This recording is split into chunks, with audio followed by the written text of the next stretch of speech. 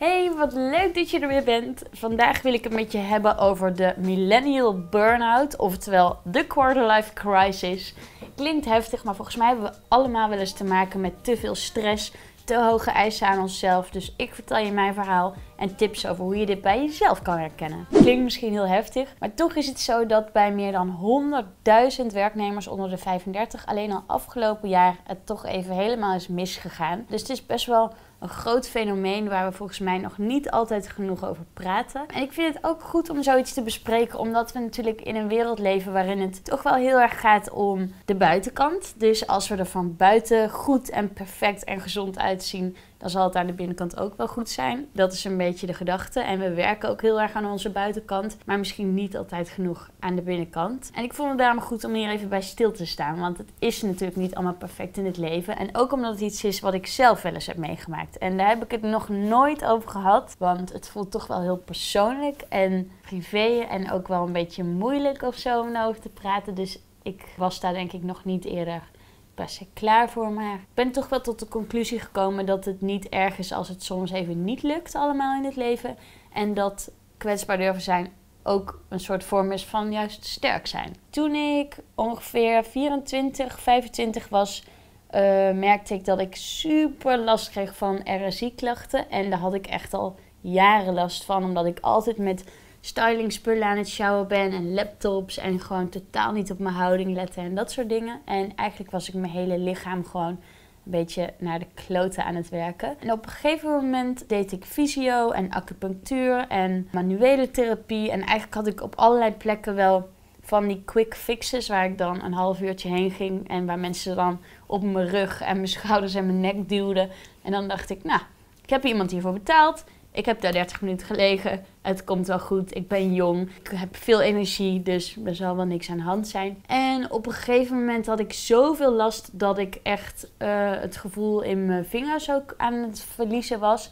Dat ik op een gegeven moment niet meer een pen vast kon houden, omdat ik gewoon zoveel pijn had en dat het zo verdoofd voelde. En de hele dag tintelde alles. En als ik dan in bed lag, voelde het eigenlijk alsof mijn arm gewoon niet meer bij mijn lichaam hoorde. Als ik het ook zo vertel, is best wel weird om aan terug te denken dat ik dat ook niet op tijd serieus nam. Want het is natuurlijk super ongezond. Maar ik negeerde dat heel erg. Want ik dacht toch, ik moet dit allemaal kunnen wat ik wil. En ik moet hard werken voor mijn doelen. Dus ik ga gewoon door, door, door. En ik vond toegeven daaraan denk ik echt een teken van zwakte. En dat is nog steeds iets wat ik heel moeilijk vind. Op een gegeven moment dacht ik, ja, dit kan zo niet langer. Ik moet hulp zoeken bij iemand die soort van de kapitein op het schip kan worden. Want die losse therapietjes hebben helemaal geen zin. En toen ben ik via de huisarts bij een plek beland wat een revalidatiecentrum is. En daar zijn we echt gaan werken aan dat ik weer kracht terugkreeg in mijn lichaam. En hebben we ook heel veel gepraat over zowel praktische dingen. Uh, hoe kan ik mijn tijd beter managen? Tegen welke dingen moet ik nee zeggen wat ik moeilijk vind? Maar ook meer naar de psychologische kant van deze klachten. Dus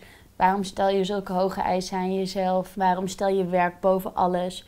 Zijn dat een beetje gaan onderzoeken. En omdat ik het zo lang had opgebouwd en het zo diep geworteld zat, heb ik daar echt heel lang gezeten. 40 weken, dus dat is bijna een heel jaar van mijn leven, ben ik daar twee keer per week naartoe geweest. Wat volgens mij ook niemand weet. Dus het is echt heel raar om dit te vertellen. En ik probeer echt niet in de emotie te gaan, want het is gewoon echt een heel persoonlijk onderwerp. Ja, daar was ik dus heel veel. En dat heeft me echt heel erg geholpen. En de reden dat ik dit ook deel is omdat ik zelf heel erg geloof in therapie. En dat iemand anders die objectief is, die jou niet kent, gewoon eens met jou in je brein duikt. Want ja, wat ik zei, we besteden zoveel tijd aan het perfectioneren of het tweaken en verbeteren van onze buitenkant. Maar het is natuurlijk ook heel erg de moeite waard om een keer naar binnen te kijken met iemand en daar tijd aan te besteden en een bepaalde methode op los te laten. En ik geloof dat je dat bijna niet zelf kan doen. Je hebt toch iemand nodig die je een spiegel voorhoudt, die je de juiste vragen stelt, die sommige gedachten kan toetsen. Niet alleen als je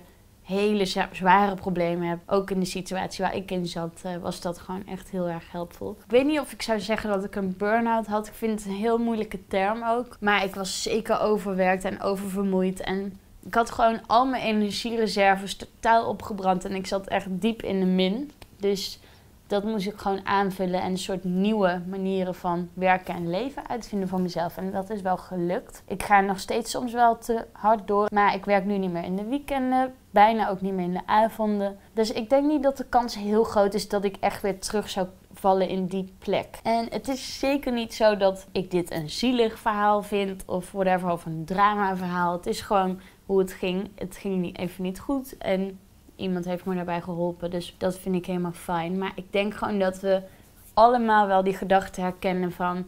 Oh, nou ja, ik ben jong, dus als ik pijn heb, gaat het wel weer weg. Of ik heb gewoon even te weinig geslapen. Of het is nu even druk, maar na dit project loopt het wel weer los. En voor je het weet ben je twee jaar verder, waarin je steeds net iets te ver gaat. En dat is gewoon iets waar ik hoop dat we allemaal een beetje voor waken. En tegelijkertijd lukt het mij ook nog steeds niet echt goed, want ik let nog steeds echt niet goed op mijn lichaam. En ik doe eigenlijk bijna niks aan beweging, wat natuurlijk echt een crime is. Dus ja, dat zijn er wel een beetje de lessen die ik heb geleerd. In ieder geval in mijn hoofd. Dat ik gewoon niet non-stop hoef te werken. En dat het leven om meer dingen gaat dan je doelen behalen qua werk. En dan is de vraag natuurlijk, wat kun je doen als dit jou overkomt? Of wat zijn signalen waardoor je zoiets kunt herkennen bij jezelf? Want volgens mij komt het meestal een beetje out of the blue. Je hebt energie, je hebt motivatie, alles gaat goed. Je hebt leuke stages of leuk werk, leuke vrienden. En dan opeens voel je je shit. Zo lijkt het te zijn. Maar er zijn natuurlijk best wel wat signalen die je kunt herkennen, zowel qua je hoofd als je lichaam. Het eerste duidelijke signaal is natuurlijk dat je dood moe bent. Elke ochtend opstaan en het gevoel hebben dat je een strijd moet leveren om de dag door te komen. Dat je bijna in staat bent om te huilen als je op je werk bent.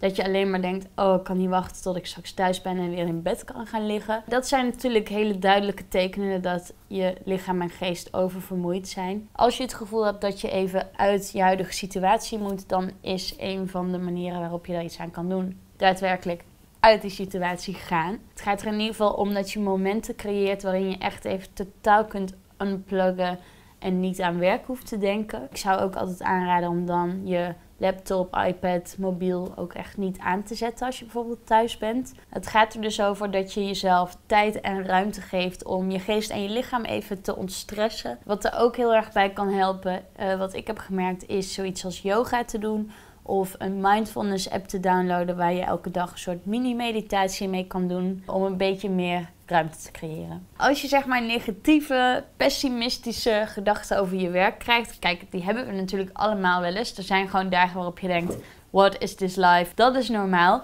Maar als je merkt dat je structureel elke dag denkt: Wat is mijn werk me eigenlijk waard? Of past dit wel in mijn leven? Wat ben ik aan het doen? Ben ik hier wel goed in? Niemand van mijn collega's vindt me aardig. Ik doe werk waar de lat te hoog ligt. Of ik kan het niet aan. Of past deze baan eigenlijk wel bij mijn skills of bij dingen die ik interessant vind? Als zulke gedachten echt elke dag aanwezig zijn en ook niet meer echt weg te redeneren zijn en je voelt je de hele tijd down op je werk, dan is het misschien tijd om actie te ondernemen en ook eens te onderzoeken of deze job eigenlijk wel echt bij je past. En als derde tip vertelt ons lichaam ons natuurlijk ook mega veel. Er is zoveel wat je uit je lijf kan halen qua informatie. En als je merkt dat je veel last krijgt van hoofdpijn, van nekpijn, rugklachten of hele stijve verkrampte spieren of tinteling, dat zijn echt van die typische stressgerelateerde symptomen. Dus dan is het goed om eens met je huisarts te kletsen. En natuurlijk ook, waar ik zelf ook echt een mega kneus in ben. Ik doe dit ook veel te weinig, maar om in beweging te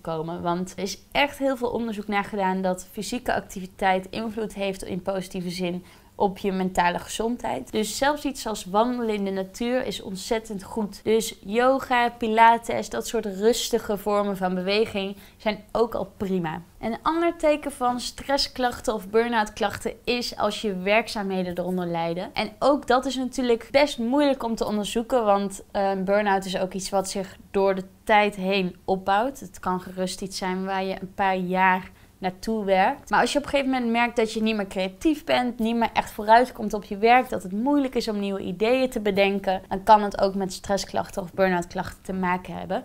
Natuurlijk kan het ook dat je gewoon even minder lekker in je vel zit of je minder creatief voelt. Dus ik zou echt dan eventjes uitzoomen en je huidige werkzaamheden en je huidige prestaties vergelijken met die van de afgelopen jaren. Niet alleen van een paar maanden geleden. Maar als je merkt dat je minder goed in je werk bent en je minder kan concentreren en je niet meer creatief voelt, dan is dat ook wel een teken dat de boel gewoon een beetje op is. Wat goed is om in gedachten te houden is dat we allemaal wel eens met deze signalen te maken hebben. En dat het natuurlijk niet meteen betekent dat je een burn-out hebt. Maar als je merkt dat je aan al deze vier criteria voldoet en daar echt veel last van hebt, dan is het wel goed om eens te raden te gaan bij je huisarts bijvoorbeeld en samen te onderzoeken of je misschien iemand nodig hebt om hulp bij te zoeken. En wat dingen zijn, zowel kleine als grote die je misschien wat meer rust en ruimte geven. En als laatste wil ik je nog zeggen dat als je je zo voelt, dan is dat niet een teken van zwakte. En dan vind ik je alleen maar super stoer als je er ook iets mee durft te doen. Ik ben heel benieuwd of je je herkent in deze video. Of je het fijn vond om